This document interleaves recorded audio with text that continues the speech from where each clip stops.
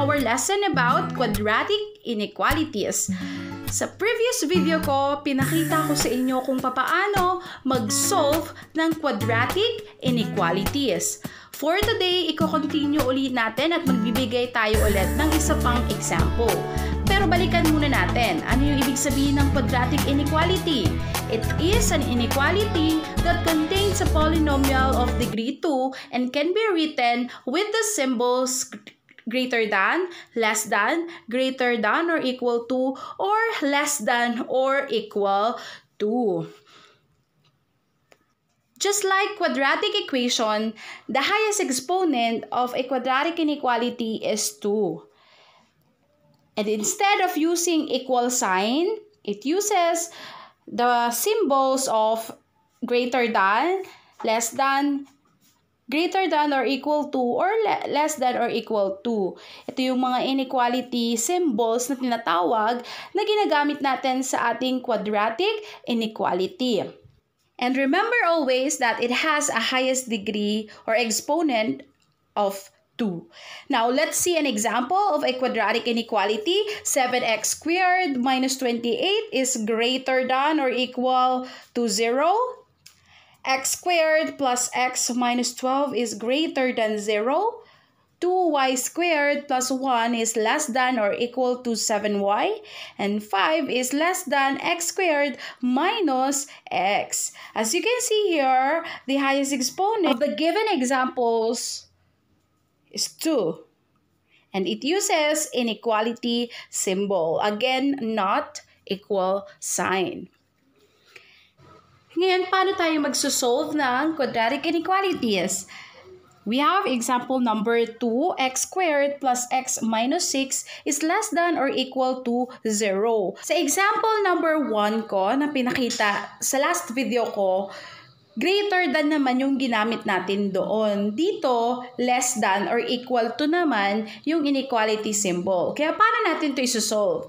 Number one, we need to express the quadratic inequality as a quadratic equation in the form of ax squared plus bx plus c is equal to 0. We will write our inequality into a quadratic equation. Ibig sabihin, um, yung inequality symbol natin na less than or equal to, gagawin lang nating equal sign.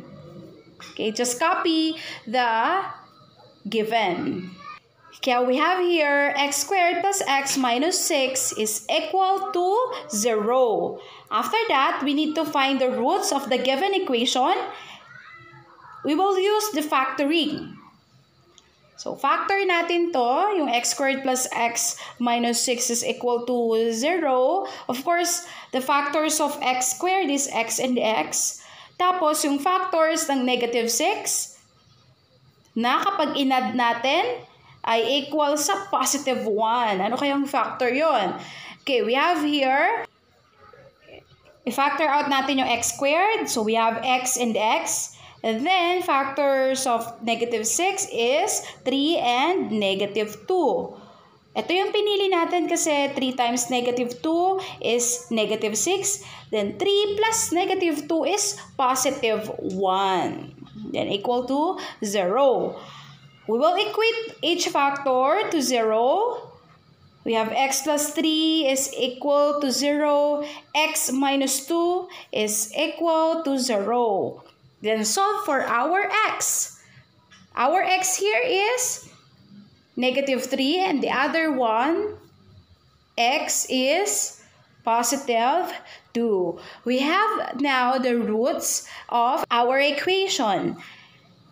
Next na gagawin natin, since we already have the roots, is to plot or locate this into our number line. We will locate the numbers found in step 1 on a number line and the number will be divided into three regions. Okay?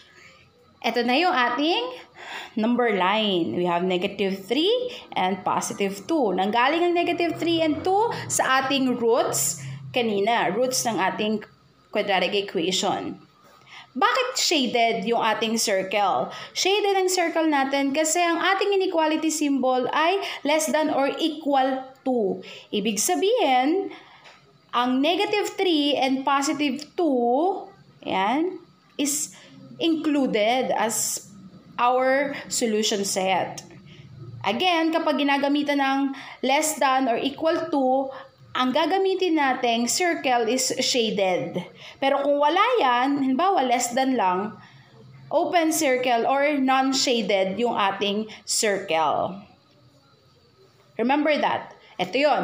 We use closed circle for negative 3 and 2 because they are part of the solution set. Kasi nga, less than or equal to. And Nakita natin yung tatlong regions, nahati sa tatlong regions yung ating number line. This is the first region. Ang kasama rito ay yung mga numbers na mababa sa negative 3. Kasama syempre ang negative 3 at yung mga numbers na mababa sa kanya. Pangalawang region natin ay ito. Yung numbers uh, from negative 3 to positive 2. Ayan yung pangalawang region. And yung pangatlo is ito, yung 2 pataas. Yung, yung numbers na mataas sa 2 and of course included yung 2. Next, choose one number from each region as a test point. Kukuha tayo ng tig-iisang test point sa kada region. Dito sa first region natin, ang kunin natin is negative 4. Pwede rin namang negative 5 or negative 6, basta numbers na mababa sa negative 3. But para mas madaling mag-solve, negative 4 yung kunin natin. For our second region, kukuha din tayo. Ang kunin na natin is 0. Okay, from number uh, number or from negative 3 to positive 2, mas madali kung gagamitin na natin yung 0. Pero pwede rin naman 1 or negative 1. Next, sa pangatlong region naman natin, mga numbers na mataas sa 2. And of course, the 2 itself. Ang kunin natin na test point dito ay yung number 3. Okay, now we have this uh, three test points. Anong susunod na gagawin natin? Substitute the test point to the original inequality. If it holds true, then the region belongs to the solution set. Otherwise, it is not part of a solution set. Isa-substitute natin yung bawat uh, test point na nakuha natin dun sa original inequality. Okay, let's uh, use negative 4 yung unang test point natin, negative 4, papalitan lang natin yung mga x natin ng negative 4. We have now negative 4 squared plus negative 4 minus 6 is less than or equal to 0. Simplify natin, we have 16 and minus 4 minus 6 is less than or equal to 0. 16 minus 4 minus 6, the answer is 6 is less than or equal to 0. Is it true or false? Is 6 less than or equal to 0? Hmm, it is false. Okay, so hindi ibig sabihin yan, kung hindi true yung lumabas, hindi to kasama or part ng ating solution set. Gamitin naman natin yung pangalawang test point. Yung pangalawang test point na kinuha natin is 0. Gamit ulit yung original equation, palitan natin yung mga x ng 0. That's why we have this 0 squared plus 0 minus 6 is less than or equal to 0. Ayan, obviously, 0 na yan. Kaya 0 minus 6 is less than or equal to 0 and the answer is negative 6 is less than or equal to 0. Is it true or false? Negative 6 less than or equal to 0? The answer is true. This is true, right? Mababa talaga si negative 6 kaysa sa 0. Kaya yung pangalawang region natin ay kasama sa ating solution set kasi true yung lumabas. Next, yung pangatlo, true kaya to or false? Ang pangatlong test point is positive 3. Palitan lang din natin yung mga x natin ng 3. We have 3 squared plus 3 minus 6 is less than or equal to 0. Simplify. 9 plus 3 minus 6 is less than or equal to 0. What will be the answer? The answer is 6 is less than or equal to 0. Is it true or false? 6 ay mas mababa daw sa 0. True kaya or false? Ano sa palagay mo? Yes, you're correct. This is false. Hindi siya totoo. Kasi hindi naman mas mababa ang 6 sa 0. Actually, mas mataas pa nga. Kaya yung pangatlong region ay false.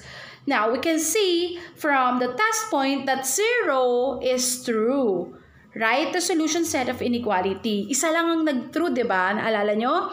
Yung pangalawang test point lang ang nag-true. Yung dalawang region ay parehong false. Ibig sabihin, eh, yun lang ang kasali sa ating solution set. Okay. Ito lang, ayan. Yan lang yung nag-true, yung pangalawang region. This is false, true, tapos dito, false. Anong ibig sabihin nun? Sabi nga kanina, kung saan yung nag-true, yun lang ang included sa ating solution set. Kaya ibig sabihin, yung mga numbers, simula negative 3 hanggang positive 2, siya lang ang part ng ating solution set. Or values, possible values ng ating x is yung mga numbers from negative 3, kasali ang negative 3 ah, and pataas hanggang positive 2. Therefore, this is the set notation. We write it into a set notation x such that negative 3 is less than or equal to x and x is less than or equal to 2. Double inequality yung ginamit natin. Ano? Less than or equal to, dalawa yung ginamit natin. Okay, para makita or maset natin yung boundary ng ating solution set. Okay, pag less than or equal to, ayan, ito yung number line natin. Less than or equal to, makikita nga natin na shaded yung ating circle. Ibig sabihin nga, included yon sa solution set. Pag less than naman, ayan, halos same lang less than or equal to, ang pinagkaiba lang niya, non-shaded or open circle yung ginamit natin. Pag greater than or equal to naman, shaded din kasi nga may equal to. Shaded din. Pero makikita nyo yung solution set natin is magkahiwalay. Ganyan. Pag greater than naman, okay, pag greater than, same lang din ang greater than or equal to, anong pinagkaiba nila? Walang shade or open circle yung ginamit natin. Pero, yung kanilang solution set ay separated din. Okay, kailangan natin yung tandaan para hindi tayo malito sa pagsosolve ng quadratic inequalities. Remember this, pag less than or less than or equal to, joint or nag-combine yung dalawang point. ba? Diba? Yung dalawang point natin nag-combine. Pag greater than or equal to o kaya greater than, separated. Ano, magkalayo sila ng landas. Okay, ganon. Pag greater than or equal to. Okay, at ang less than natin, ang gagamitin natin ay less than din na inequality symbol at dalawa or double inequality symbol. Kapag naman greater than, Dalawang inequality symbol din pero mapapansin nyo magkaiba. Isang less than at isang greater than. Tapos emphasize lang natin close to circle or shaded pag may equal to. Ayan. Yan o, may mga shade. Ibig sabihin, kasali siya as our solution set. Kapag ka naman um, less than or greater than, non-shaded or open circle. Okay, tandaan niyo yan kasi mahalaga to para hindi kayo mahirapan sa pag-locate sa number line natin. Ngayon, marunong na kayong mag-solve ng quadratic inequalities. Alam na natin kung paano i-solve yung may greater than and yung may less than. Pag nalilito pa rin kayo, pwede nyong balikan yung mga videos natin. But now it's your turn. Try natin to. x squared minus 6x plus 5 is greater than 0. Kayang-kaya nyo itong isolve. Basta sundin nyo lang yung mga examples na pinakita ko and yung mga procedures or steps na ginawa natin kanina. Pwede nyo ilagay sa comment section natin yung sagot. And for our next lesson, Abangan ninyo yung susunod kong topic and it's about problems involving quadratic inequalities. Paano naman natin to mai-apply in real life situation? Siyempre, ang quadratic inequalities ay may application din in real life. Kaya, kita-kita ulit tayo next time. Bye-bye!